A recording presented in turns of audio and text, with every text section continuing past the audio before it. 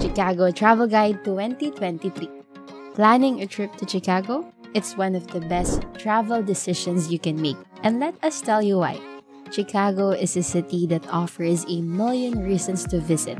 From its award winning food scene to its stunning green spaces, iconic attractions, innovative theater, and vibrant neighborhoods. With so much to see and do, you might be bothered about the cost of travel in Chicago. Don't worry, we've got you covered. Hello and welcome to Paradise Planet. In this video, we will provide all the essential information you need to have an unforgettable trip. So stick with us till the end and let us be your virtual travel guide. Without wasting one more second, let's dive into what you need to know to make the most of your visit. What are the activities to engage in while in Chicago? No doubt in Chicago, you will find an abundance of activities to keep you entertained. But here are the top 5 activities you shouldn't miss. First on the list, explore Millennium Park. Right in the heart of downtown, Millennium Park is a must visit. Check out the famous Cloud Gate sculpture nicknamed The Bean and enjoy free concerts, art installations, and beautiful gardens. The best part? Admission is completely free, so you can take your time and soak in the atmosphere. Next, take an architectural boat tour.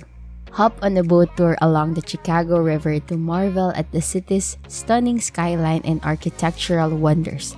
Learn fascinating tidbits about iconic buildings like the Willis Tower and the Wrigley Building and uncover the rich history of Chicago. Prices for boat tours range from $30 to $50 per person depending on the company and duration of the tour. Another option is to visit the Art Institute of Chicago.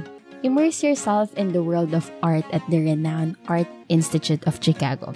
Admire incredible masterpieces by legendary artists such as Van Gogh, Monet, and Picasso. Adult admission is around $25, while students can enjoy a discounted rate of approximately $19.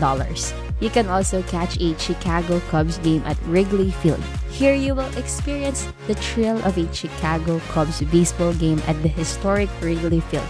Get caught up in the electrifying atmosphere as you cheer on the team. Ticket prices can vary depending on the game and sitting location, so it is best to check ahead of time. Next up, explore Navy Pier. Simply head over to Navy Pier, a lively entertainment destination along Lake Michigan. Enjoy thrilling rides, indulge in delicious food at various restaurants, shop for unique souvenirs, and soak up the breathtaking views of the city skyline. Admission to Navy Pier is free, but some attractions may have separate fees. Now, let's talk about money. Is Chicago an expensive city? Chicago can be a little pricey, but hey, it's all about what you want.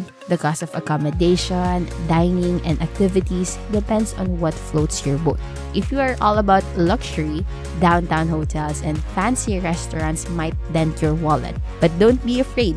There are also budget friendly alternatives like hostels, affordable eateries, and public transportation to save some cash. With a bit of planning, you can have a fantastic time in Chicago without blowing your budget.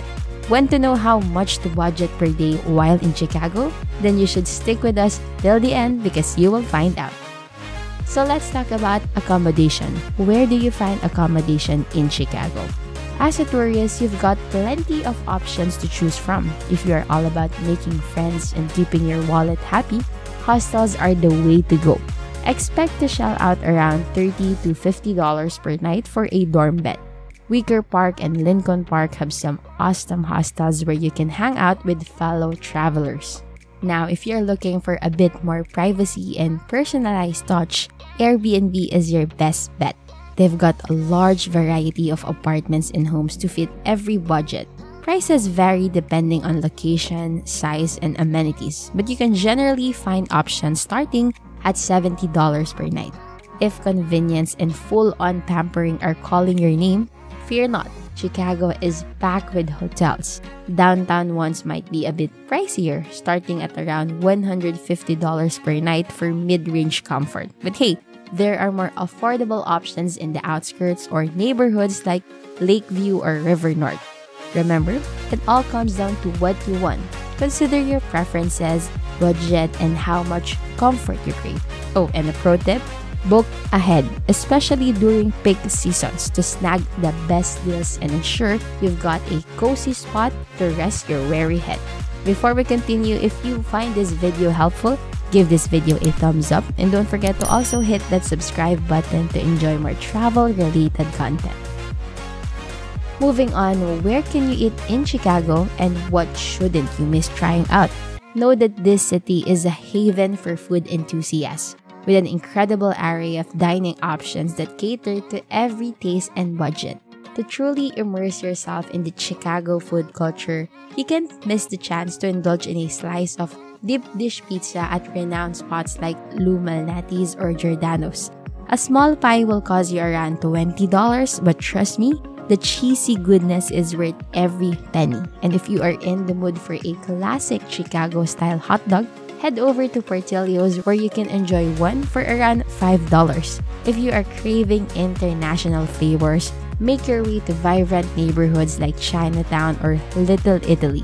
Here, you will find an array of authentic cuisines that will transport your taste buds. Prices at mid-range eateries can range from 15 to $30 per person depending on the restaurant and your choices. To fully immerse yourself in Chicago's thriving food scene, be sure to visit popular food markets like Eataly or Revival Food Hall. These bustling hubs offer a tantalizing variety of dishes from different vendors, all at a reasonable prices. In Chicago, you will find dining options that cater to all preferences and budgets. Whether you're in the mood for comforting classics or seeking unique culinary experiences, this city has it all. Just make sure you come hungry and get ready for an unforgettable gastronomic adventure. Now, how do you get around while in Chicago? Getting around Chicago is a breeze with various transportation options to suit your preferences. The Chicago Transit Authority operates the efficient L train and bus system planning tools available on their website.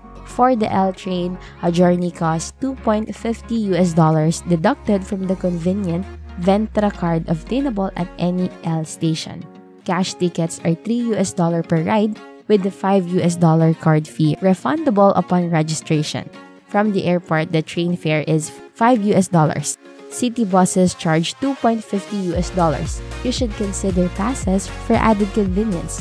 Options include a one day pass for 5 US dollars, a 3 day pass for 15 US dollars, and 7 day pass for 20 US dollars. Some other transportation options available in Chicago are taxis, water taxis, and ride rentals. With that said, this is one thing you should know. When visiting Chicago, be cautious of certain tourist traps to ensure a pleasant experience. Avoid excessively priced restaurants targeting tourists and opt for recommendations for authentic and affordable dining. Beware of common scams like unauthorized ticket sellers and street vendors peddling counterfeit goods. Stick to reputable sources for tickets and purchases and safeguard personal and financial information. By staying vigilant and being informed, you can navigate Chicago while avoiding tourist traps and enjoying a safe visit. So, if you've been wondering how much money you should set aside per day in Chicago, this is it. If you are backpacking through Chicago, you can expect to spend around 70 US dollar per day. This budget will cover your stay in a hostel dorm, getting around using public transportation, cooking your own meals, and exploring free attractions like walking tours, parks, and beaches. Oh, and don't forget to bring sunscreen.